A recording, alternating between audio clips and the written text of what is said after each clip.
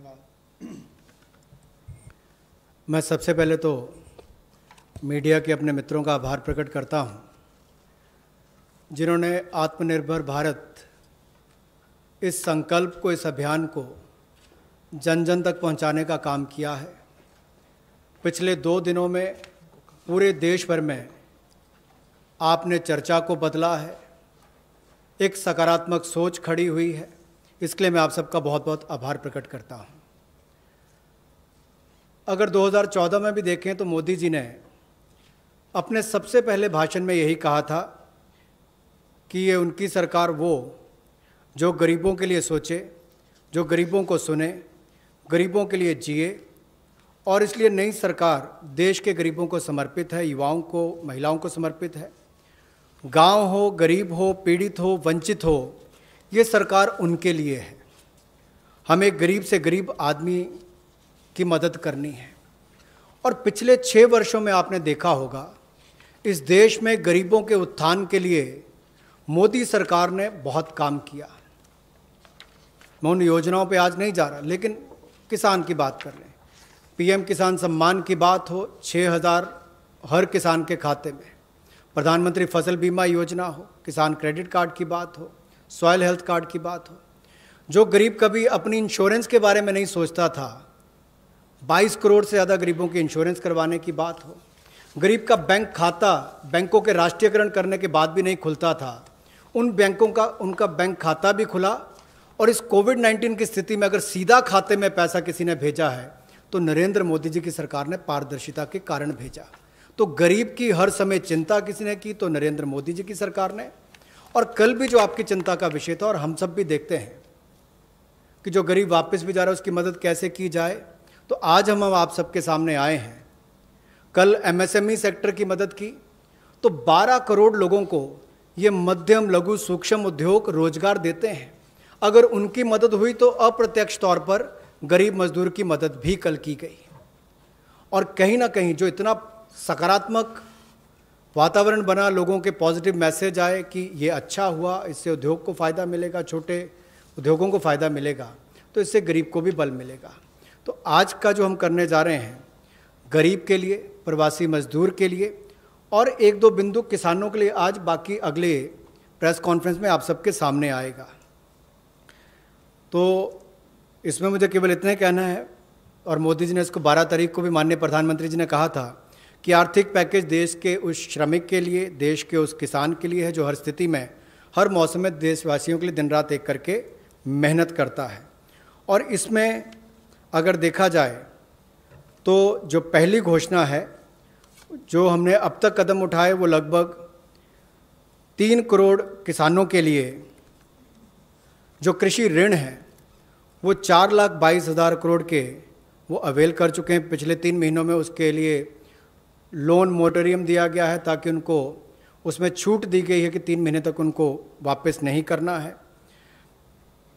Interest subvention दी है, ब्याज पर सहायता दी है, त्वरित भुगतान, यानी कि प्रॉम्प्ट रीपेमेंट करने पर इनको इंसेंटिव दिया है क्रॉप लोन्स पर।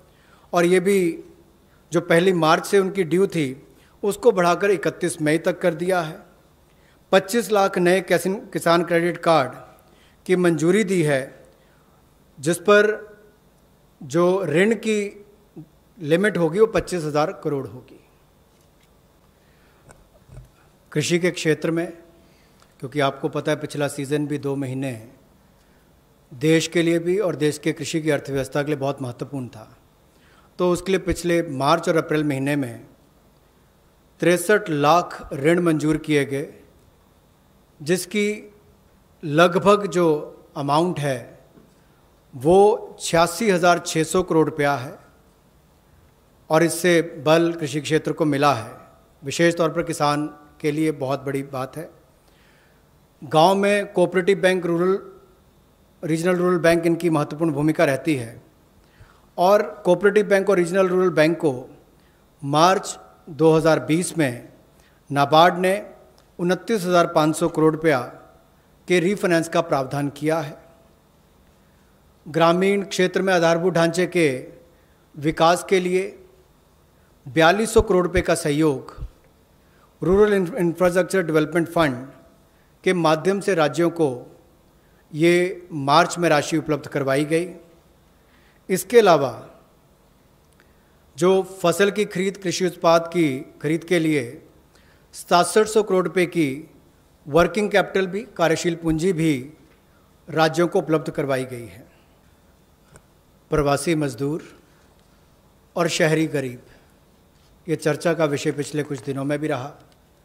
लेकिन मैं ये कहना चाहता हूँ, हमारी सरकार ने पिछले वर्षों में भी इनके किया और इस समय में तो विशेष तौर पर हम लोगों ने आपदा राहत के माध्यम से जो fund, state disaster response fund के माध्यम से उपलब्ध, उनको हमने राज्यों को करवाया। ये लगभग ग्यारह हज़ार करोड़ रुपये से ज़्यादा है। ताकि इन लोगों को इसमें से राहत दी जा सके, आपदा राहत हो सके, उसके लिए इस्तेमाल किया गया। और यही नहीं, हाइजीन का ख्याल रखते हुए तीन मील्स एक दिन में प्रति व्यक्ति के लिए इन शेल्टर होम्स में उपलब्ध करवाई गई, ऐसा प्रावधान वहाँ पर करवाया गया। और जो हमारे स्वयं सहायता समूह हैं, जिसको आप सेल्फ हेल्प ग्रुप्स भी कहते हैं, ऐसे बारह हज़ार स्वयं सहायता समूह ने तीन करोड़ मास्क और एक लाख बीस हज़ार लीटर सैनिटाइज़र्स का उत्पादन किया है। ये एक अपने आप में बहुत बड़ी बात है और इस संकट की घड़ी में हमारे काम और ये बड़ा काम देश के लिए स्वयं सहायता समूह की हमारी बहनों ने किया है। यही नहीं, बहत्तर नए स्वयं सहायता समूह इस समय में बनकर और शुरू हैं पिछले दो महीनों में। और जो revolving fund self help group के लिए पैसा एक पोर्टल के माध्यम से हमने शुरू किया था गुजरात में पायलट प्रोजेक्ट। अब उसको पूरे देश भर के अलग अलग राज्यों में शुरू किया जाएगा ताकि इनको और लाभ मिल सके। आपको याद होगा कुछ दिन पहले जब हमने घोषणा की थी तो सेल्फ हेल्प ग्रुप के लिए भी 10 लाख से बढ़ाकर 20 लाख रुपए उसकी लिमिट कर दी थी तो इससे भी उनकी कैपेसिटी बिल्डिंग में मदद मिलेगी। जो हमारे प्रवासी मजदूर वापस अपने राज्यों में गए हैं, उनकी भी मदद एम जी नरेगा के माध्यम से कैसे की जाए, उसके लिए भी हम योजना लेकर आए हैं। और अब तक चौदह करोड़ बासठ लाख परसेंटेज जनरेट किए जा चुके हैं तेरह मई तक, और इस पर कुल खर्चा लगभग दस हज़ार करोड़ के लगभग किया जा चुका है। जो काम ऑफ़र किया गया है, वो दो पॉइंट तैंतीस करोड़ जो काम मांगने वाले हैं, उनको कल तक किया गया। और ये लगभग एक लाख सतासी हज़ार ग्राम पंचायतों में किया गया है। इसमें 40 से 50 प्रतिशत लोगों ने अपनी इनरोलमेंट की है रजिस्ट्रेशन की है। पिछले साल के मुकाबले, पिछले साल के मई महीने के मुकाबले ज़्यादा लोगों ने की है यानी कि अगर पिछले साल 100 ने की थी तो इस बार 140 से 150 लोगों ने की है उस तरह से उसका आंकड़ा लगभग बड़ा है।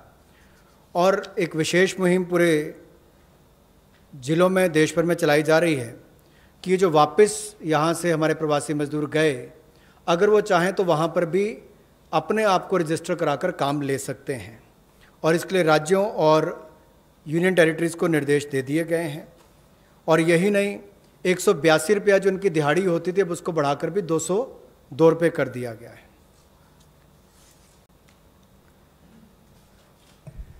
लेबर कोड के माध्यम से हम लोग जहाँ मज़दूरों को लाभ देने जा रहे हैं, अगर आप देखेंगे तो देश में जो न्यूनतम वेतन है, वो लगभग 30 प्रतिशत वर्कर्स ही उसका लाभ उठा पाते हैं। समय पर उनका वेतन का भुगतान नहीं हो पाता। अनऑर्गेनाइज जो असंगठित क्षेत्र है, उसमें ये दिक्कत है। और इसीलिए यूनिवर्सलाइजेशन की जो बात कही गई है कि न्यूनतम वेतन की यूनिवर्सलाइजेशन की जाएगी, पूरे देश भर में एक जैसा उसका हो। कम से कम एक न्यूनतम वेतन गरीब से गरीब मजदूर को मिले, इसके लिए इस कदम को उठाया गया है। और जो क्षेत्रीय असमानता है, जो रीजनल डिस्पैरिटी है, न्यूनतम वेतन में, उसको भी इसके माध्यम से दूर किया जाएगा, वैधानिक रूप इसको दिया जाएगा। और नेशनल फ्लोर वेज इसमें इंट्रोड्यूस की जाएगी।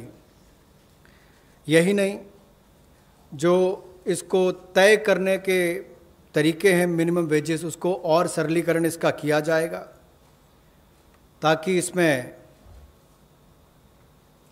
कंप्लायंस ज़्यादा हो और रुकावटें कम हो।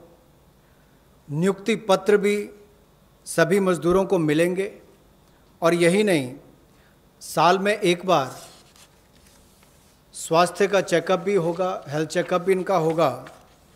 और जो खतरनाक क्षेत्र में काम करने वाले, जहाँ खतरा रहता है, ऐसे क्षेत्रों में काम करने वाले जिनके काम करते हैं मजदूर, उनके लिए occupational safety and health code भी लाया जाएगा, जो उनकी सुरक्षा और स्वास्थ्य का ख्याल रखेंगे।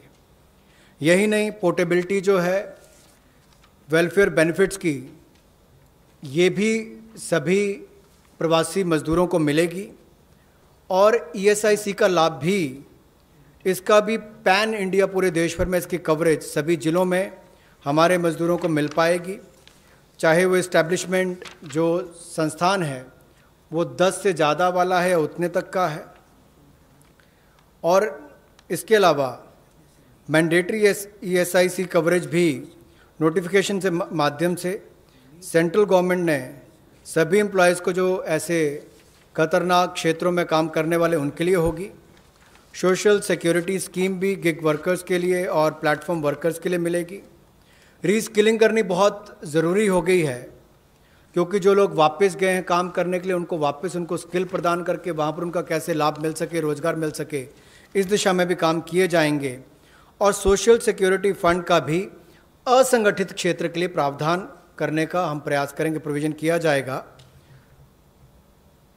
और जो महिलाओं के लिए कामकाज के क्षेत्र खुले हैं। उसमें रात्रि के समय अगर काम करना पड़ता है, ड्यूटी करनी पड़ती है तो उसमें सेफ़ अलग अलग तरह के लाए जाएँगे।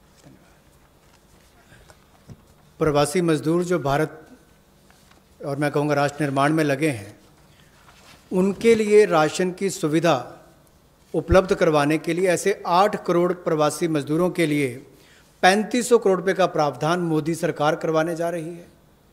जो नेशनल फ़ूड सिक्योरिटी एक्ट में नहीं आते या जिनको राज्यों का राशन कार्ड नहीं मिल पाता या उसकी बेनिफिशरीज लिस्ट में नहीं है, वो भी इससे वंचित ना रह जाएँ।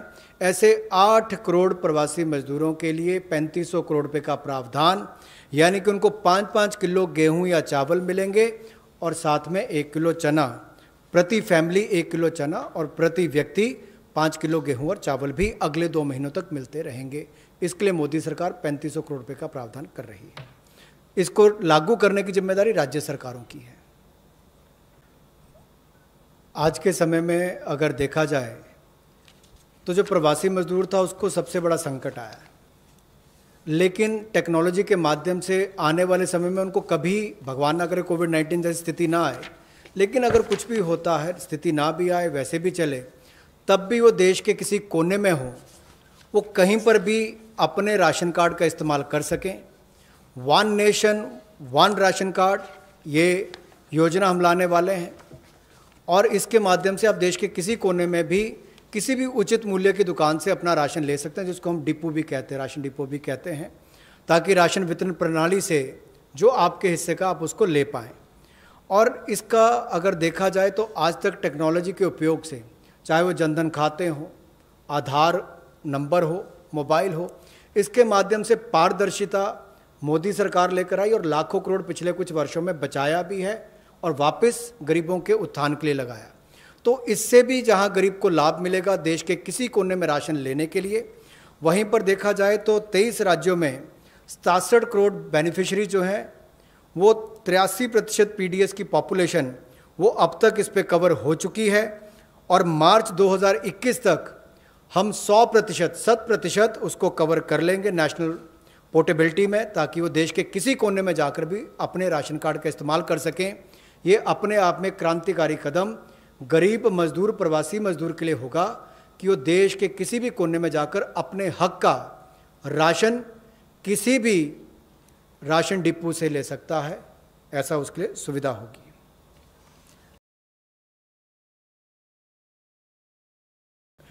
प्रवासी मजदूर और शहरी गरीब के लिए जहाँ वो काम करते हैं शहरों में, वहाँ पर कम कीमत पर उनको किराए पर मकान मिल पाए, रहने की सुविधा मिल पाए। इस बड़ी योजना का संकल्प लेकर मोदी जी आए हैं। और मेरा मानना है कि जिस तरह से हर घर को बिजली, हर गाँव तक बिजली पहुँचाने का काम, हर व्यक्ति का बैंक खाता खोलने का काम, हर बहन को गैस सिलेंडर देने का काम, और 2022 तक हर गरीब को सर ढकने के लिए छत देने का काम मोदी सरकार करने वाली है। उसी तरह से एक बहुत बड़ी योजना ये भी है कि कम कीमत वाले, किराए वाले, कम किराए वाले ऐसे घर आने वाले समय में मिलेंगे और जिसका प्रधानमंत्री आवास योजना के अंतर्गत इस योजना को लाया जाएगा, जो कि हमारे अब के बने हुए घरों को भी उसमें इंक्लूड कर सकती जो सरकार के अभी बने और कुछ जगह खाली होंगे। उद्योगपति अपनी ज़मीन पर बनाना चाहें तो उनको भी इंसेंटिवाइज करके करेंगे ताकि वो भी अपने काम करने वाली मज़दूरों के लिए अपनी फैक्ट्री या उसके आसपास रहने की व्यवस्था बनाएँ, या राज्य की सरकारों को, उनकी एजेंसियों को हम लोग प्रेरित करेंगे, लाभ देंगे, ताकि वो भी अपने राज्य में काम करने वाले ऐसे मजदूरों के लिए सुविधाएँ तैयार करके दें। जो मुद्रा शिशु ऋण श्रेणी में लोग आते हैं, उनके लिए 1500 करोड़ रुपये की जो ब्याज में राहत देने की योजना मोदी सरकार लाई है ताकि गरीब से गरीब व्यक्ति को उसका लाभ मिल सके।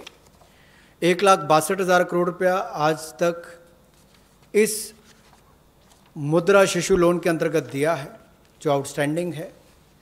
और इस योजना के माध्यम से लगभग तीन करोड़ ऐसे लोगों को लाभ मिलने वाला है और ये कुल लाभ 1500 करोड़ रुपए के लगभग होगा, जो देश भर में मुद्रा शिशु लोन वाले हैं उनको 1500 करोड़ रुपए का लाभ इस योजना के माध्यम से मोदी सरकार देगी कि उनके ब्याज में दो प्रतिशत की राहत छूट नरेंद्र मोदी जी की सरकार वहन करेगी यानी कि मोदी सरकार उसका खर्चा उठाएगी और गरीब को राहत देगी। जहाँ एक और श्रमिक और प्रवासी मजदूरों के साथ साथ रेडी लगाने वाले पटरी पर सामान बेचने वाले जो हमारे श्रमिक साथी हैं जो घरों में काम करने वाले भाई बहन हैं, जो ठेला लगाने वाले हैं, इन सबको कोविड 19 के समय, इस पिछले दो महीनों में बहुत सारी तकलीफ़ का सामना करना पड़ा और इनका, इन्होंने बहुत ज़्यादा त्याग भी इसके लिए किया है। और ये पाँच हज़ार करोड़ रुपये की विशेष सुविधा, केवल इनके लिए, रेहड़ी, ठेला लगाने वाले, पटरी पर सामान बेचने वाले, श्रमिक साथी इनके लिए लेकर आए हैं। ये दस हज़ार की इनको प्रति व्यक्ति सुविधा मिल सकती है, क्योंकि किसी को चाय बेचनी है, सब्ज़ी बेचनी कुछ और बेचना है तो दो हज़ार दस हज़ार तक वो अपना सामान लेने की उसको सुविधा मिल सकती है।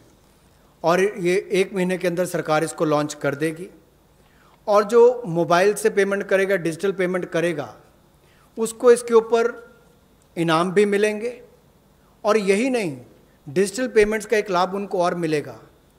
कि उनको आने वाले समय में दस हज़ार के बजाय ज़्यादा पैसा मिल सके, क्योंकि उनका व्यापार लेखा जोखा ध्यान में आएगा तो बैंक भी उनको ज़्यादा पैसे देने के लिए तैयार होंगे। तो डिजिटल पेमेंट को भी इससे बल मिलेगा और लोगों को भी आने वाले समय में अतिरिक्त धन उपलब्ध कराया जा सकता है अपना कामकाज बढ़ाने के लिए। जैसे कल हमने एमएसएमई की केवल डेफिनेशन चेंज की, लेकिन उसका इतना बड़ा इम्पैक्ट है कि लोग अपना कारोबार बढ़ा सकते हैं। यहाँ पर भी डिजिटल पेमेंट से इतना बड़ा बल मिल सकता है कि लोगों को आने वाले समय में कर्ज ज़्यादा मिल सकता है और अपना व्यापार बढ़ा सकते हैं।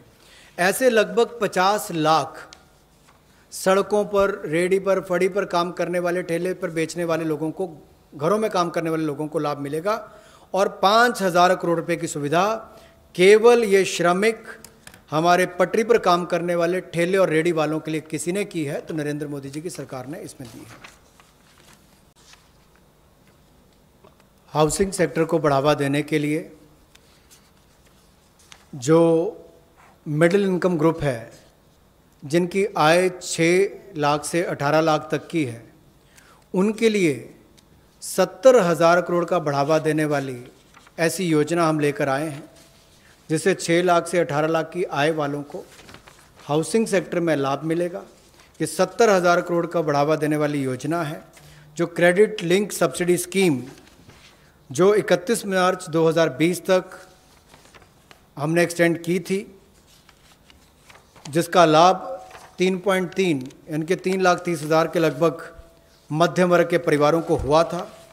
अब इस योजना को 31 मार्च 2021 तक बढ़ा दिया गया है और इससे लगभग ढाई लाख से ज़्यादा मध्यम वर्ग के परिवारों को लाभ मिलेगा और सत्तर हज़ार करोड़ रुपये का इसमें कुल मिलाकर इन्वेस्टमेंट आएगी, जिससे स्टील सीमेंट ऐसे मटेरियल से जुड़े हुए, आपके रियल स्टेट से जुड़े हुए हाउसिंग से जुड़े हुए सेक्टर्स को भी बढ़ावा मिलेगा तो लाखों लोगों को मजदूरी के अवसर भी मिलेंगे। तो मजदूरों को भी लाभ मिलेगा और इन सेक्टर्स को लाभ भी मिलेगा और गरीब के ऊपर वाली श्रेणी जो है, मध्यम वर्ग की, उसको घरों का लाभ भी मिल पाएगा। रोज़गार के और अवसर पैदा हों और विशेष तौर पर आदिवासी इलाकों में ट्राइबल एरियाज़ में हो, ग्रामीण क्षेत्रों में हो। तो 6000 करोड़ के कैंपा फंड्स का सदुपयोग और रोज़गार के अवसर पैदा करने के लिए किया जाएगा, जिसमें वृक्षारोपण हो, वनानीकरण हो। इस तरह से उस योजनाओं का लाभ आप अलग अलग क्षेत्रों में उठा सकते हैं, विशेष तौर पर ट्राइबल एरियाज़ में, आदिवासी क्षेत्रों में। और इसके अलावा चाहे शहरी अर्ध अर्ध शहरी क्षेत्र हो, ग्रामीण क्षेत्र हो, यहाँ पर भी आप इन योजनाओं को ला सकते हैं। जहाँ पहले केंद्र सरकार ने राज्यों को फ़सल की खरीद के लिए पैसा दिया, जिसकी जानकारी हमने पहले दी।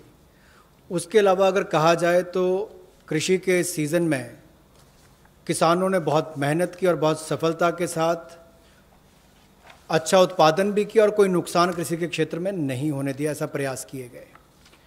लेकिन हमारे छोटे और सीमांत किसान जो हैं, उनको लाभ देने के लिए ऐसे तीन करोड़ छोटे और सीमांत किसानों के लिए तीस हज़ार करोड़ रुपए की अतिरिक्त सुविधा नरेंद्र मोदी जी की सरकार लेकर आई है। और ये तीस हज़ार करोड़, नब्बे हज़ार करोड़ जो नबार्ड देता है, उसके अतिरिक्त है। और ये सारा पैसा state cooperative bank, district cooperative bank, regional rural bank, इनके माध्यम से राज्यों को दिया जाएगा और इसका वितरण वहाँ पर किया जाएगा ताकि छोटे और सीमांत किसानों को इसका लाभ मिल सके।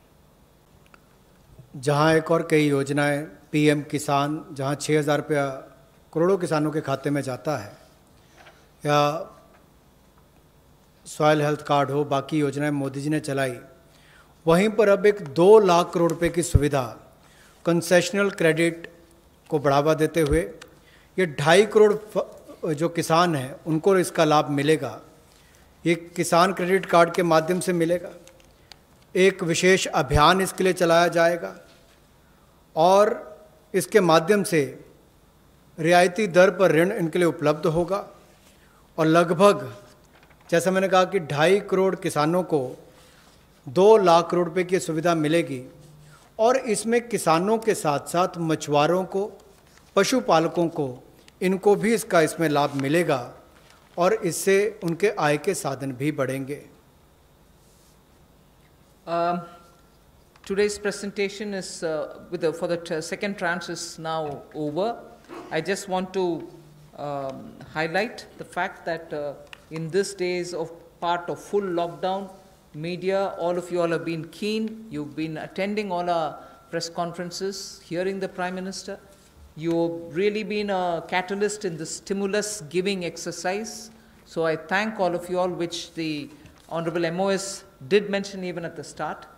Uh, we certainly look forward to having you pass all this information, disseminate this information, spread this information so that people get to know what this government is doing. So, even as we are looking at COVID as an opportunity, not look at COVID as, oh my God, my economy.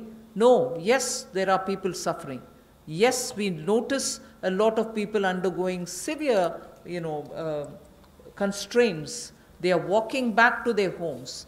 Prime Minister had requested, please stay wherever you are. But nevertheless, emotions being what they are, and their concerns being what they are, we understand migrants moving. We will have to extend all benefits, and that's what we are trying to do. And therefore, in this uh, entire uh, COVID related response, I thank the media for constantly keeping every concern heard both ways. For the, from the citizen to the government, and from the government, the stimuluses and other things that we want to do to the people back. So, thank you very much.